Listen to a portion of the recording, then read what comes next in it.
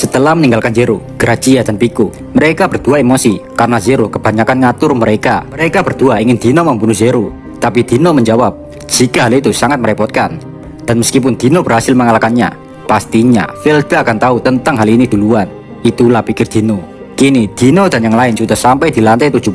Saat berada di lantai itu, tempat itu kosong, tidak ada satupun monster. Dino berkata, sudah kuduga, Adalman pergi ke medan tempur. Hari ini kita sangat beruntung.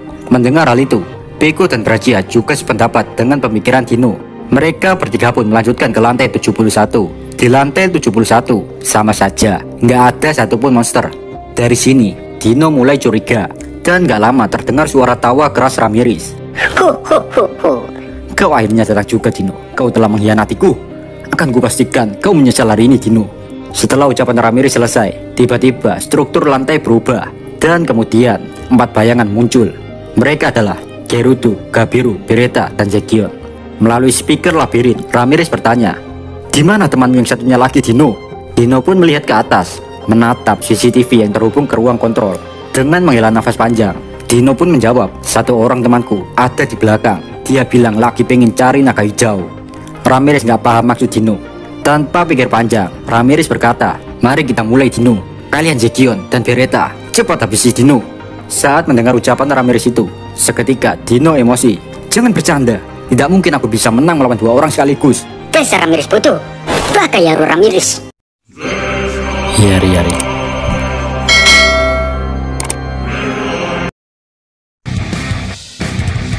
Saat dihadapkan pada situasi yang tidak menguntungkan, Dino terus memikirkan siasat untuk mengulur waktu demi rencana Zero. Suara dalam hati Dino berkata, Sial, jika mereka berdua menjadi lawanku, aku pasti akan mati hari ini. Di situ Dino berkata, Cutu mate Ikeki Minasan, kumohon dengarkanlah permintaanku. Bagaimana jika kita melakukan pertarungan dengan format KO? Jadi nggak boleh ada pertarungan lain sebelum pertarungan pertama selesai. Dino sengaja mengusulkan hal tersebut karena Dino ingin mengulur waktu untuk Zero. Dino juga berharap agar Zero segera datang untuk membantunya. Awalnya Dino nggak percaya jika keinginannya bertanding dengan mode KO akan disetujui oleh Ramirez. Tapi nggak lama Ramirez menjawab jika dia setuju dengan usulan Dino. Sontak saja Dino heran kenapa Ramirez bodoh itu masuk ke dalam rencananya. Suara dalam hati Dino berkata, Sepertinya keberuntungan masih berpihak padaku. Pertandingan pertama pun dimulai, yaitu Gabiru melawan Pico. Keduanya saling bertarung di udara dan menggunakan tombak. Awal pertarungan pun berlangsung sangat sengit. Tidak ada dari mereka yang mau mengalah. Kesan pertama Pico terhadap Gabiru adalah Pico sangat kaget karena di pertarungan sebelumnya Pico ngerasa kekuatan Gabiru nggak sebesar ini. Kini Pico yakin jika Gabiru adalah ancaman. Setelah ditombak, di situ Gabiru mengeluarkan Flame Breath dan Thunder Breath. Tapi dengan mudah, Pico menghindari serangan itu. Sambil menghindar, Pico juga menyerang Gabiru dengan Black Thunder dan Heaven Judgment. Tapi sama saja, serangan Pico tidak mengenai Gabiru. Heaven Judgment milik Pico adalah skill yang sangat absurd, di mana jika musuh pernah dilukai Pico, maka luka itu bisa muncul lagi di tubuh Gabiru. Namun Gabiru tidak bodoh, dia menggunakan kartu as miliknya, Star Pierrot. sehingga efek skill milik Pico seolah-olah tidak berefek padanya. Melihat Gabiru yang gak kenapa-kenapa, Pico terkejut. Nani, kenapa ini bisa terjadi? Gabiru menjawab, apakah kau terkejut Nona? Maafkan aku Nona, aku masih memiliki alasan untuk tetap hidup.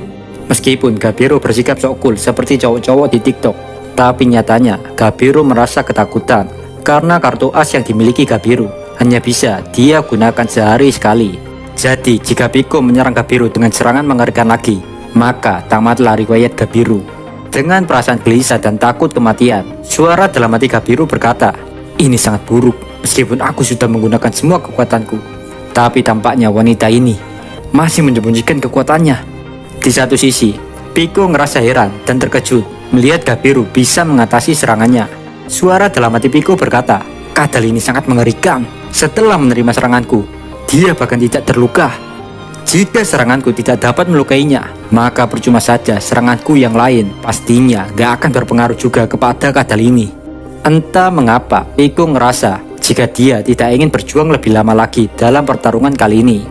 Sebenarnya, Pico masih memiliki kekuatan, Pak. Tapi Pico memilih mengakhiri pertandingan dalam pertempuran jarak dekat dan mereka berdua pun saling menyerang.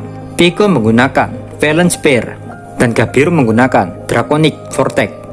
Hasil dari benturan itu, dua-duanya sama-sama terpental. Saat melihat hal itu, Ramirez mengumumkan jika pertarungan pertama ini berakhir seri, di mana Gabiru dipenuhi luka di sekujur tubuhnya dan tidak bisa bertarung lagi. Sedangkan Pico hanya berpura-pura tidak bisa bertarung lagi. Melalui telepati, Dino bertanya, kenapa Pico menahan dirinya. Pico pun menjawab bahwa dia sengaja melakukan ini karena Pico ingin menyimpan energinya untuk melarikan diri dari labirin. Pertarungan kedua, Gerudo melawan Gracia. Pertarungan kedua tanpa sedikit lebih sengit karena Gerudo dan Gracia sama-sama memiliki pertahanan yang kuat. Keduanya memegang senjata lengkap dengan perisai yang mereka miliki. Pertarungan pun dimulai. Gracia langsung menyerang Gerudo, tapi semua serangan Gracia berhasil ditahan Gerudo. Sontak saja, Gracia tidak menyangka dengan pertahanan Gerudo yang sulit ditembus itu. Gerudo tidak hanya bertahan saja, melainkan dia menunggu celah untuk menyerang Gracia. Lalu saat Gracia lengah, Gerudo berhasil menyerangnya, sehingga membuat Gracia jatuh ke tanah. Suara dalam hati Gracia berkata, Tadinya aku berpikir untuk mengulur waktu, tapi makin ke sini, kenapa aku sangat bersemangat dan tidak bisa menahan diriku. Gracia merasakan jika pertarungan ini sangat menyenangkan. Di lain cerita, tepatnya di ruang kontrol labirin, Ramirez emosi. Pertarungan apa ini? Tidak ada jurus ribu bayangan, Chidori, Rasengan, membosankan sekali bukan? Hoi Benimaru, tidak bisakah kita membuat ini seri lagi dan memulai pertarungan berikutnya? Aku ingin segera menyiksa Dino. Saat mendengar Ramirez yang cerewetnya nggak ada akhlak, sontak saja Benimaru emosi. Benimaru nggak mau menghentikan pertarungan yang adil ini. Tidak seperti Ramirez, Benimaru terpesona pada pertarungan Gerudo. Di saat ini, Gerudo semakin sering menyerang daripada bertahan. Gerudo dan Gracia saling beradu pedang. Setiap pukulan dari pedang mereka membuat angin berembus kencang dan tanah rusak. Tidak ada seorang pun yang tidak terpesona dengan pertarungan itu, kecuali Ramirez. Namun tiba-tiba Gracia berhenti bergerak dan Gracia mengatakan jika dia menyerah. Dan pertandingan ini disimpulkan jika pemenangnya adalah Gerudo. Gracia sengaja melakukan itu karena jika dia memaksakan melanjutkan pertarungan, maka Gracia bakal kelelahan. Dan jika hal itu terjadi, maka Gracia akan kesulitan untuk kabur. Di situ tiba-tiba terdengar suara Ramirez. Kali ini giliranku untuk mengalahkanmu menjadi debu Dino. Karena aku Ramirez yang agung, tidak akan pernah melupakan pengkhianatanmu. Di satu sisi saat Gracia balik kembali ke sisi Dino, Gracia berkata, pria bernama Gerudo itu kini menjadi sangat kuat. Aku mungkin bisa mengalahkannya, tapi pastinya aku akan sangat lelah dengan pertarungan yang panjang itu. Dino pun menjawab, aku tahu Gracia, masih ada orang kuat lainnya di sini. Jadi jika sampai kau kelelahan, sama saja kau bunuh diri di sini. Sedangkan kini giliran Dino untuk bertarung, dan yang menjadi lawannya adalah Gerudo. Dino pun mulai melangkah maju, dan Dino merasakan kakinya sangat berat untuk digerakkan. Suara dalam hati Dino berkata, Tenanglah Dino, lawanmu hanyalah Gerudo, dia sudah kelelahan, apalagi yang kau takutkan? Dan tiba-tiba, di situ Ramirez berkata, Ah, Gerudo kun, kau pasti lelah bukan? Kau harus digantikan Gerudo kun. Mendengar hal itu, Gerudo dengan patuh setuju untuk mundur dan digantikan oleh tim yang terdiri dari Beretta dan Jegion. Jadi kini lawan Dino sekarang adalah Zegion dan Beretta. Jelas saja mereka bukan lawan yang bisa dimenangkan Dino. Dengan mata seperti ikan mati, Dino mengalihkan pandangannya ke arah Zegion.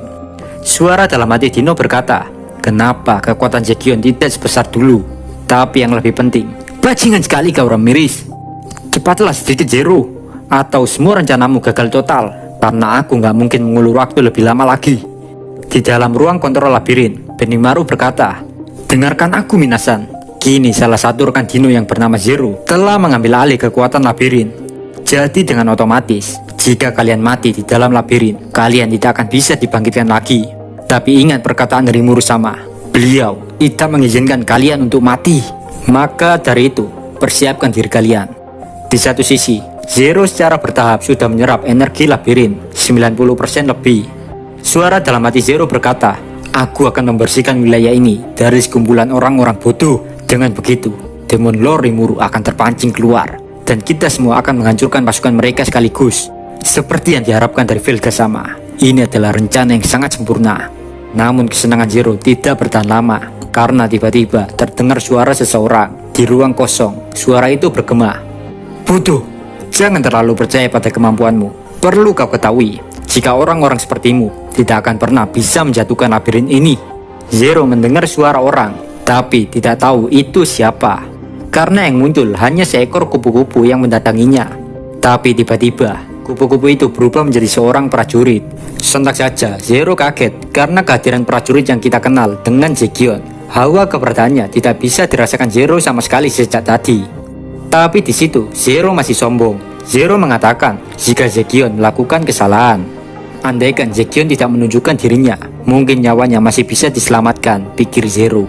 Namun pada kenyataannya, Zekion sudah mengerti rencana Zero. Tanpa banyak bacot, Zero menciptakan banyak Evil Dragon Beast. Zero bisa menciptakan begitu banyak makhluk kintil itu karena Zero sudah mengambil energi yang ada di labirin. Sedangkan makhluk kintil yang bernama Evil Dragon Beast itu seketika langsung menyerang Zekion.